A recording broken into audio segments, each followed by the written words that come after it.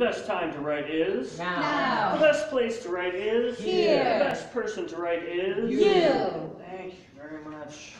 Um, just so everyone knows, we have books over there ranging between six and fifteen and twenty dollars.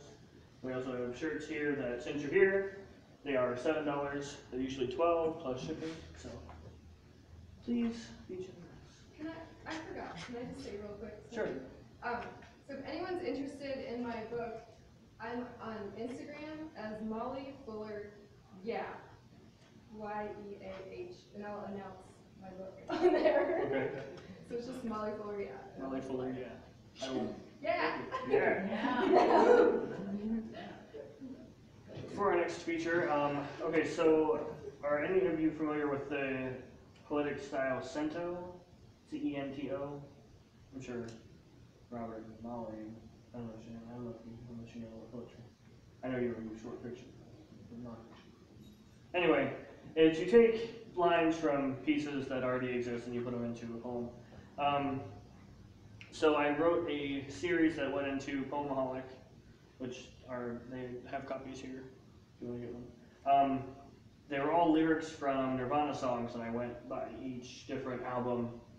Uh, this one is this one is uh, unplugged. This is from from the unplugged album, um, creatively titled "Broken Nirvana." Starts with a quote. Punk is musical freedom. It's saying, doing, and playing what you want. Kurt Cobain. Hang me out to dry to fit this easy shoe. I want to be, to come as a sunbeam, doesn't want, an angry man who sold me. Distill the life inside a liar, a thief, steal the sun and fall asleep. The soul is cheap, Polly's crackers, back hurts. Get off her and on a plane. Can't complain, my brothers died. Something in the way I lived underneath the bridge, scanning for the next plateau. Greenland, Mexico. I can't see the whole expanse and end of me where bad folks go when they die. Don't go to heaven with all apologies. Everything is my fault, and I shivered where I slept last night.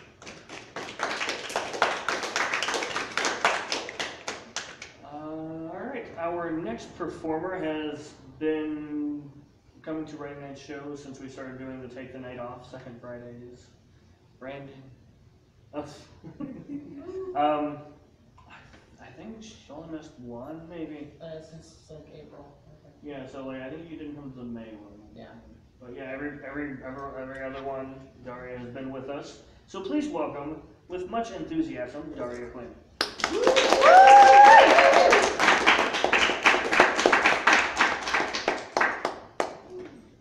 Please hold, please hold, okay. I don't have a book, I don't have any physical media, but I do have flyers for my so-called band. Um, so if after the show you wanna check some of that out, I have flyers. Um, most of that material doesn't translate well to spoken word, but there will be a, uh, one attempt at it at least, hopefully y'all will be in for a little, um, audience participation with that one. So we are going to go ahead and. Hello, my name is Daria Quinn, and I am a god. Not the god, mind you. That's a bit more complicated. Basically, the god is not so much a being as he is a concept. The idea that all there is, was, or ever could be is connected by a single shared or- origin. And to our knowledge of science and the, and the cosmos, it's true. We all come from hydrogen and carbon and share a common lineage with stars and snails. However, despite all of that, we are unique because we know ourselves. We have a greater understanding of ourselves and the cosmos than any other creature we have ever observed. We built homes, invented machines, discovered fire and electricity and magnetism and bent them to our will. We have powered our engines through sunlight and water and wind and the fossilized remains of the dead centuries past. We have forged civilizations, founded nations, built churches and synagogues in tribute to powers beyond our comprehension, yet still manage to hold on to the curiosity of a child and seek out the answers to questions we have only just learned to ask. Our creativity makes us gods, whether it's expressed through art, machinery, science, philosophy, literature, athletics, mathematics. We have always looked at what is and asked ourselves what could be, what can be, what can we do different, what can we do better? Can this change? And will that change be for the better? And if not, why not? And let's see if we can change that too. We refuse, by virtue of our very existence, to be shackled to our limitations as we reach towards greatness. We are the culmination of billions upon billions of centuries of nuclear reactions, mutations, adaptations, diversifications, and conceptions. And it is through us that the next great thing in this universe will come to pass, if not by our hands, by the hands of our children's children's children. If you are alive and you have a soul, a thought in your mind, and the will to carry it out, you too are a God.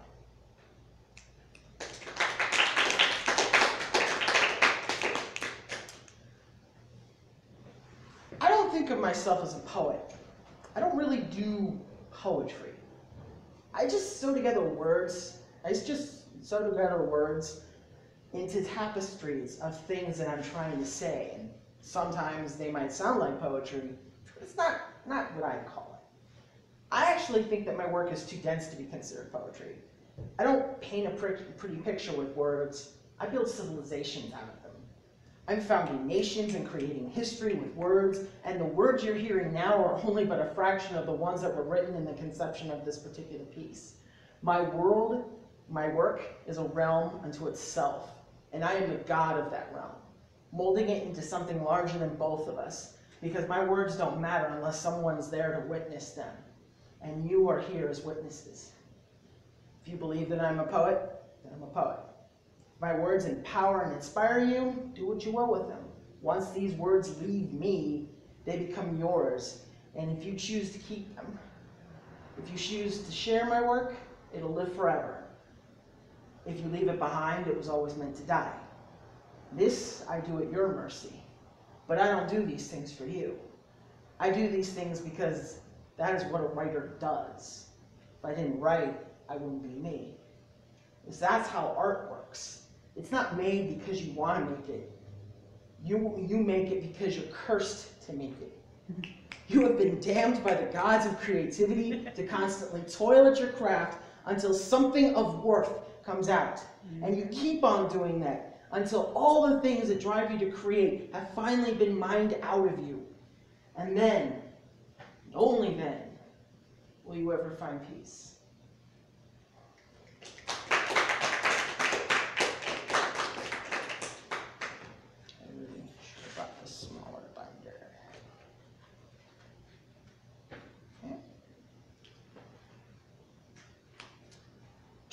Transgender people, we're not a new thing. We've existed long before you, long before America, even long before the gender binary. We have been here long before Caitlyn Jenner, Jazz Jennings, Laverne Cox, and the Wachowski sisters. Perhaps you're familiar with Marsha P. Johnson. Actually, no, probably not. Marsha Johnson is often forgotten, a critical piece of LGBT history, sadly ignored even within our own community. Marsha Johnson was the one that threw the first rock that started the riots at Stonewall. She initiated gay pride. Before parades, she fought the raids. Her act of defiance is the first shot fired in the battle for gay and transgender liberation. She started all of this, and you've likely never heard of her. Not only because she was queer, but because she was black. In America, we have a tendency to overlook that. Black History Month comes, and there's never a mention Pride Month comes and only the transgender pay her attention. How our Pride Month began, the rallies and parades, all started with a woman who was sick and tired of police raids. She lived in a time where simply wearing a dress was illegal. This was 50 years ago, barely a generation removed. Cops would raid the Stonewall and arrest all the cross-dressers. Marsha Johnson said, fuck that, and attacked her oppressors. She threw the first stone. Yeah, I said it. Threw the first stone. Taken directly from the Bible because Marsha Johnson never sinned. Her dress was a bullshit crime. Her rights were constantly infringed, all because she wanted to go dancing on a Saturday night in Greenwich Village. Imagine for a second that your entire existence was deemed a crime. That every time you just wanted to go out with friends, you'd do time. That the clothes you'd wear were considered obscene, and a life free of police harassment was considered just a dream. Think of that for a moment before you consider the pronouns you use to define my gender. Think of the violence that trans women encounter, both physical and mental, compounded forever into a single act that you can control. Whether you understand it or not, it's a matter of respect. I introduced myself to you as female, who happens to be transgender. The female is a noun, transgender is a modifier. My pronouns don't change simply because I'm transgender. I was introduced to you as a woman, and I expect to be regarded as such. No, and no amount of age or ignorance allows you to rebuff the baseline human respect that I am owed and deserve. I am a woman, now take me at my word. Anything else is completely absurd.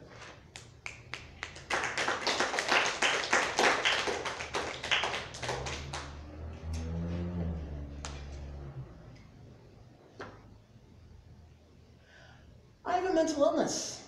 Several, actually. I am bipolar. That basically means that I have severe mood swings, which can be caused by, well, anything really. I have periods where I can be extremely active, even overactive, followed by periods of depression where my activity level completely bottoms out. I'm on medication that helps slow this process down and balance it out, but it doesn't actually go away, and it's probably never going to. I have major depression, which is basically a severe form of depression uh, where I have difficulty self-motivating. It also causes a decrease in energy and makes it difficult to enjoy well, anything. It's kind of like having this big giant weight you're always having to drag around everywhere. It makes everything harder and less enjoyable to do, and it's constantly exhausting you to carry this thing around. I'm on medication for this as well, and that stuff. Some days I feel a lot better. I have more energy. I feel more productive. Others, not so much. But it's still a massive over a, a massive improvement over where I was before medication. I am obsessive compulsive. I have a hard time walking away from a puzzle or a situation that doesn't offer a me measure of closure. I have a tendency to hyperfixate on a single detail of a given situation, and I absolutely must have a solution or some other form of closure on the matter before I can move on to anything else. I can also hyperfixate on a hobby or a special interest for hours, sometimes days at a time. These hyperfixations will see me ignore basic daily routines such as eating, sleeping, showering, and other basic forms of self-care. I will neglect social contacts. I will outright ignore people. And this kind of stuff happens to me all the time. Sometimes I'll just get this idea in my head and I'll jump on Wikipedia and 12 hours later I'm still reading articles. This was my entire day. And now some of you, some now there are some days that, sorry, there are some days that I don't even get off of Facebook. And no matter how normal you think that is, it's not. Because you don't go 16 hours doing nothing but checking your timeline, reading the same 20 posts over and over, waiting for someone to respond to the 30 or so status updates you just posted over the last hour alone only remembering to take your medication because somebody called you. Because you need someone to call you to make sure you take your meds and eat and sleep. In fact, this part of the poem right here, this is me hyperfixating on me hyperfixating. It's like Inception. It's, and it's not healthy. They don't make a medication for this, unfortunately. To be honest, you're never really going to get rid of it. You have to train yourself to find ways to work around it. And you do that by setting alarms for yourself. So, you so you remember to eat and take your meds. You give yourself a set bedtime and then set an alarm for that as well so you don't forget. You get your friends involved and have them call you at certain times every day just to check in on you and keep you social. Or you're like me and you're in a living situation where someone is checking in on you, making sure you eat, take your meds, that you're taking care of yourself. You don't ever really cure yourself of something like this. You only learn to work at it and not let it completely take over your life. I am also agoraphobic. That basically means that I am not okay in most situations, outside of a specific, outside of a few specifically designated quote safe spaces. And I'm not talking about the Tumblr snowflake safe spaces. I'm talking about my bedroom, the social club at Coleman Behavioral Health, the LGBTS global group at Stark State, and in the company of very specific people. And that's it. Otherwise, I am generally in a state of tense hypervigilance, a state which I may appear to be paranoid and severely anxious. If I look uncomfortable when you see me, it's because I am. And that discomfort level is significantly high. What you're seeing right now is the result of decades of me forcing myself out of my comfort zone in order to have something resembling an actual human life. And even this is something of a small miracle because it really doesn't take much for me to have a panic attack. And panic attacks for me are very painful. I don't really do the flailing about and hyperventilating bit that you typically associate with panic attacks. I've had those panic attacks, but they're not particularly common. Most of the time, my panic attacks take the form of intense centralized pain, usually right around the diaphragm. I tend to have the I tend to have a hard time breathing, and I literally feel as if my body is trying to implode on itself.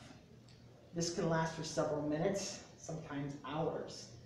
I used to work a job as a cashier full time, and I would have at least one of these types of panic attacks during a shift every day. Many days they'd last two, almost three hours at a time. That is on days where I wasn't having multiple attacks one after the other. And I kept working because I didn't know at the time that what I was feeling wasn't normal. None of this is normal. The only reason I'm doing this right now, this whole talking in front of strange people thing, the kind of thing you'd imagine wouldn't settle well with my agoraphobia, is because most people don't understand just how common mental illness is, nor do they recognize the symptoms of mental illness when they see them. Most people normalize their quirks, their feelings, their insecurities. They don't really talk about them because they think it's normal. But that's the problem. It's not normal. Because, because nobody knows it's not normal, because nobody wants to talk about it. And for the longest time, I didn't even want to talk about it. I didn't talk about my condition. I didn't talk to my counselor about it. I didn't talk to my doctor about it. I didn't talk to my caseworkers about it. I didn't talk to the staff at the psych wards about it. I didn't talk to my friends or family about it. I sure as hell didn't talk to strangers about it. I didn't talk to anybody about it. I've never talked to anyone about the full extent of my condition, and because I haven't talked about it, I'm almost 100% sure I'm not properly diagnosed. There's something else going on here, and I don't know what it is because I haven't been talking about it. I'm not getting the treatment I need because I'm not talking about the problems I have and normalizing them. And the worst thing you could ever do to yourself is normalize your pain. If any of this sounds familiar, don't ignore it. It's not normal.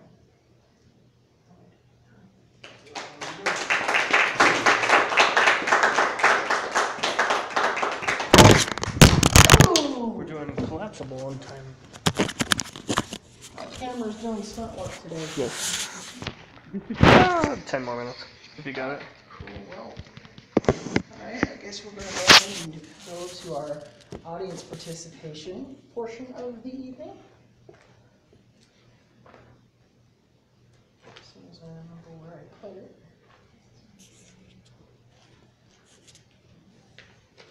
Alright. This is gonna be fairly simple on y'all's part. I really just need y'all to keep a steady beat. So, everybody ready? Okay.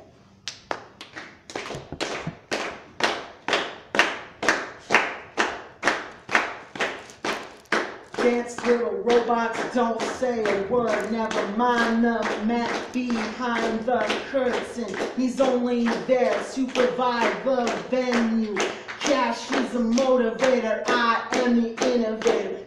A lifestyle I'd shoes.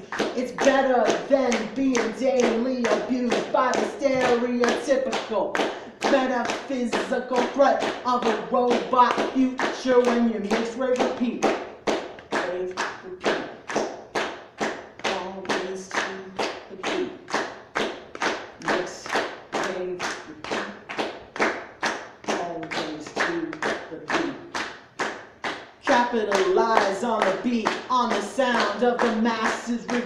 Revolting against their program. When the men and the money are all dead and gone, and the art left behind is all of the proof that future programmers, dance beat remixers will ever have of this place called America. Rotting and bored with their so-called existence, they rose up and decided that they would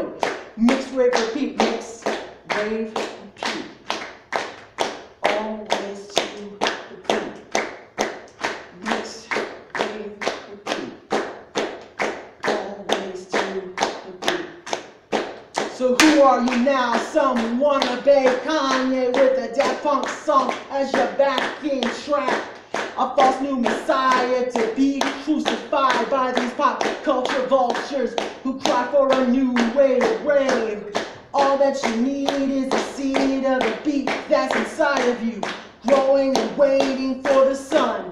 One day you will break out to the world. Your voice will be heard to mix, rave, repeat. Woo. And or not, it actually sounds better this way the way I recorded it. okay. So, uh, how's everybody feel about Nazis? All right, well, good. This is for everybody else in America then. Okay, America, we need to sit down and talk because this whole Nazi thing, it's not okay. It's really not okay. And I see you rolling your eyes at me out there, America, thinking I'm some kind of lunatic up here. I'm losing my mind over what seems to be nothing more than a bunch of idiots waving around ugly flags, protesting in front of a statue, except that it's not. It's really not that simple. This, this whole Nazi thing, it's not okay. It's not okay that we have Nazis, actual real life Nazis, marching in the streets. This is not okay. None of this is okay. I don't know where you got the idea that this was okay, but it's not. It's not okay. We are not okay. And I get this, I get, and I get it. This really isn't anything new. We've always had white supremacists out there. White power is a thing. I understand it's a thing. But America, this is really getting out of hand. Okay, we really need to do something about these people because they're starting to become like a real problem here. A problem we're actually going to have to deal with because these people are not going away. Hell, ever since Barack Obama became president, it's been like one big Nazi loving in this country, and this is not okay. We have Nazis working for the president. We have Nazis working for cable news. You got Nazis on the radio. We have Nazis making movies. You got Nazis on YouTube and Twitter. There's Nazis on Netflix. There's Nazis on Hulu. You got Nazis in your backyard, up the street, down the block. Your neighbors are Nazis. Your friends are Nazis. Oh, Marvel Comics even made Captain America a Nazi. Nazis are everywhere you look now, and this is not okay, America. Nazis have become so prevalent in this country nowadays. There's no more ignoring them. There's no more escaping them. They are all around us. They're here, watching us as we go along our daily lives, pretending to be our allies, our friends, and our family. They've infiltrated our government. They've infiltrated our entertainment. They've infiltrated our families. Nazis are a daily part of our lives now, and this is not okay. America is not an innocent country by any means. We've slaughtered and stole lands from indigenous people. We rounded up and concentrated Japanese folk the moment we thought they might be a threat, and we've been threatening to do the same to Muslims ever since 9-11. We want to build a wall to assure that Latinos will always know their place, and we erect statues of slave owners and militarized police to assure that black people will always know their place as well. We traded slaves for over 400 years. We literally owned people. We bought and sold people.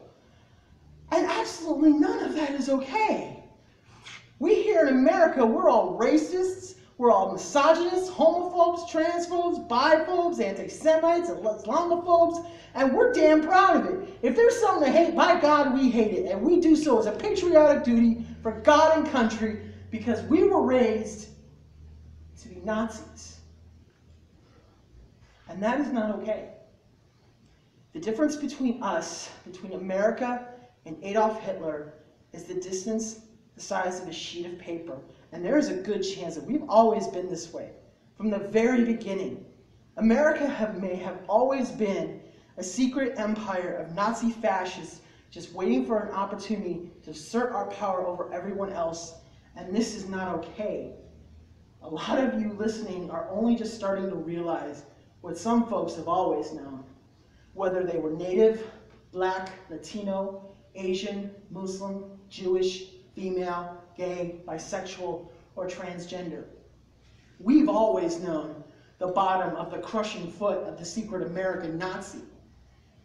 Some of you are only starting to become angry now that the Nazis have stopped hiding, while others here are angry because we're starting to see you for the Nazis you've always been. Some of you voted to make America great again, not knowing that this was a Nazi war cry. Because, of, because all of us, white and not, were raised with the lie that America was great to begin with. That America wasn't built on genocide and slavery, but instead the wisdom of old rich white men who longed for a freedom from taxes. And that's not okay. That, that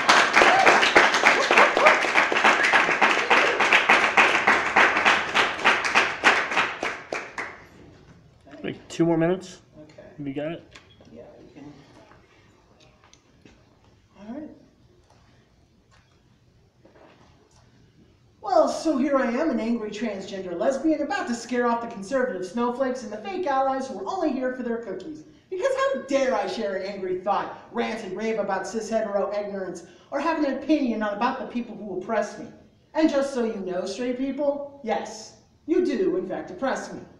So let me take this moment as you sit there in your seats to speak out for myself and for the others in my community who share these sentiments. The LGBTQ folk who are sick and tired of your complicit cis hetero bullshit, sitting quietly by, observing our systematic oppression and doing absolutely nothing about it. This isn't about marriage, this isn't about bathrooms, this isn't about your religious liberties or our basic human rights. This is about fear your fear of us. And let me assure you, your fears are well founded. We are, in fact, coming for you. That's right, the fags, the dykes, the queers, and the trannies, we're all coming for you, street people. Oh, yeah, we're coming for you. We're coming for your rights, we're coming for your privileges, we're coming for your ability to feel safe as yourselves, free from harm and harassment, regardless of your gender or sexual identity. We're coming for your prejudice, we're coming for your hate, we're coming for your ignorance. We're coming for your appropriation of our culture. Your queer eyes for the straight guys, your gay best friends, your, the term metrosexual, and your repurposing of drag culture as a spectator sport featuring RuPaul. We're coming for your fetishes, we're coming for your kinks, we're coming for your unicorns, and we're definitely coming for your so-called lesbian porn. we're coming for your objectification and exploitation of trans women. We're coming for your terms trap, he, she, tranny, and shemale. We're coming for your narratives that all trans women are sex workers, or that transgender people are inherently deceptive, because we don't immediately out ourselves to everyone.